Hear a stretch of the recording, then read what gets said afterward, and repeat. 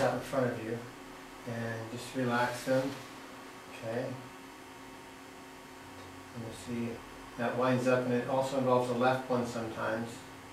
I'm going to see if that's done good. The left one, left one looks pretty good today, huh? Yeah, the other guy's misbehaving. though. Okay.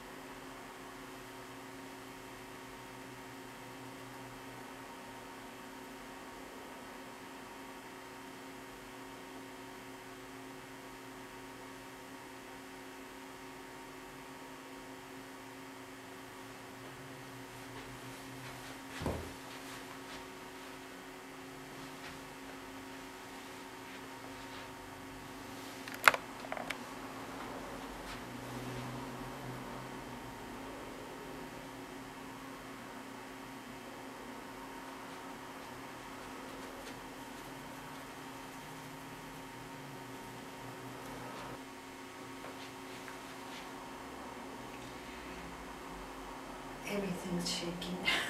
Yeah, I see that. Okay, again? Yes, a little faster. Okay. Okay. Okay, I'm going to just share some thoughts with you about this patient. It is clear from my examination that uh, she does not have a cerebellar ataxia. Uh, what she does have, however, is a basal ganglionic tremor. And uh, we are going to treat her appropriately for that tremor. We're going to use a, uh, the biokinetics protocols. And uh, we're going to, I'll show you, I'll come back shortly and show you the results of that treatment. We're here just after her adjustment. How did your adjustment go? Easy? Feel good? Good.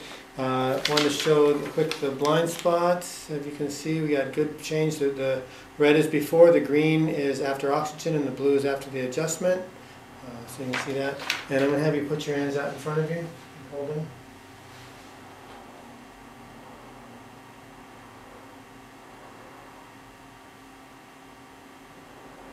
Now, put your hands over and over like that. Okay, stop. Now bring your right hand in, close your eyes, bring your right hand in, touch the tip of your nose. Okay, now the other side.